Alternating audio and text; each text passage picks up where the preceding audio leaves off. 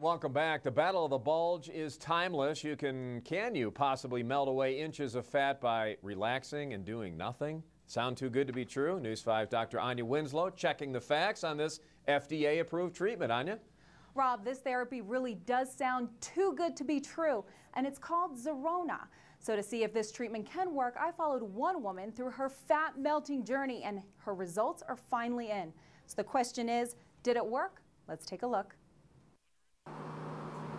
Alyssa Stroder says she eats well and leads a pretty healthy lifestyle. I, mean, I run all the time with my dog. I'm very active. But after having two kids, she admits she's had a harder time tightening up one particular area. You get the stomach and you just wonder if it will ever go away. After hearing about a treatment that's helped a few of her friends, Alyssa decided to try Zerona. It's a non invasive, non surgical procedure using low level lasers that target the waist, hips, and thighs. Dr. Deborah Riekeman says the laser works by liquefying fat in fat cells. That allows the body to pick up that fat and, and the lymphatic system is the system that does that and takes it out of the body, so it uh, allows the person to experience inch loss. Riekeman adds a study showed the average person lost around three and a half inches without changing diet or increasing exercise. Now it's Alyssa's turn.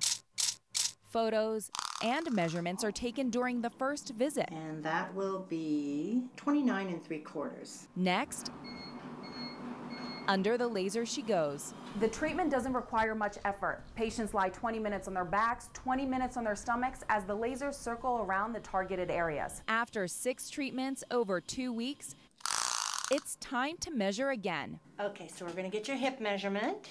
According to Alyssa's numbers, the treatment worked. Alyssa reports she lost 1.5 inches in her waist, 2.5 inches from her hips, and one and a quarter inches in her thighs. Well, I'm really psyched because now I can go home, try on my skinny jeans, get to go out, have fun, and just feel so good about myself that I lost 10 and a half inches. As for how long the results will last, there aren't any concrete answers, but one study Riekeman cited reported people gained back 8% of what they lost after six weeks. Longer term data is not available.